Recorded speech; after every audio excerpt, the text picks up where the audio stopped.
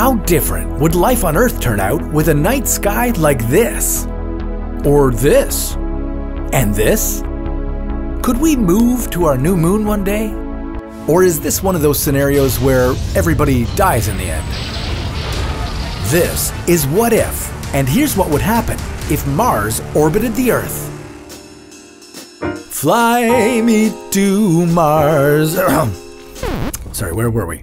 Ah, right. Mars in the sky. For the sake of our little thought experiment, let's not include the moon in the equation. Let's just assume that Mars has replaced it altogether. Mars is about double the size of the moon. For us, down here on Earth, our new moon would be twice as big. What a fantastic view! But what would come with it? Tsunamis? Earthquakes? One big planetary collision? For Mars, taking the place of the moon would mean temperatures on the red planet would rise from their current average of minus 60 degrees. Its polar ice cap would melt.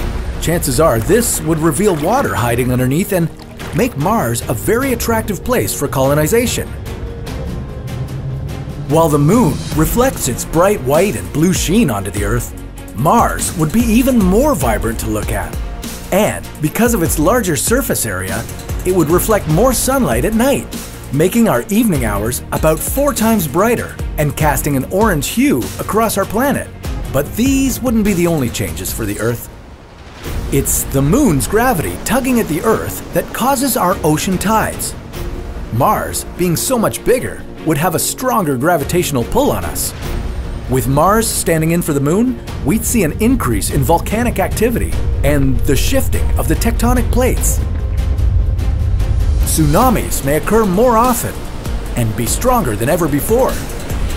Temperatures on Earth would jump, causing some of the polar ice to melt, leading to higher tides and bigger tsunamis. You'd want to strive to make it through this wave of tsunamis and volcanic eruptions, because the opportunities that come after that would be mind blowing. Think of it Mars is now a mere 385,000 kilometers away from us. It would take you less time to get there than it takes to fly from North America to Australia, with stopovers. With all the potential for humans to terraform and live on Mars, it would be inevitable that we would turn it into our second home. Realistically, we could start populating it just eight years after the red planet became our new moon. The question is whether or not the colonization of Mars would turn into a new version of the Cold War. A space race with the most powerful countries in the world doing whatever they could to become the first to set up a civilization on Mars. But let's go back down to Earth.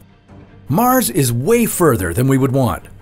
We are working towards sending people to the red planet, but it wouldn't be until 100 years from now that Mars would see a population of 1 million humans. But that's a story for another What If.